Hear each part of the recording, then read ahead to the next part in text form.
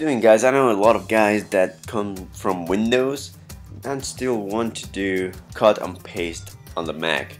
If you didn't like my previous video, I got a shortcut for you that you guys can try it out and it works perfectly without enter entering the terminal or anything like that. All you gotta do is, I got two um, folders here. I'm gonna go ahead and open folder 2. Here I got a video of my dog.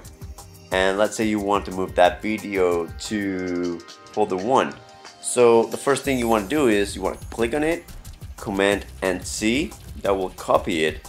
And now select folder 1 and now press Command Option V and that will actually move the video from the first location to the second uh, location as not as you guys can see is not anymore on folder 2 is only on folder 1 once again click on it command C go to the next folder where you want it command option V and there you go. Fast and easy.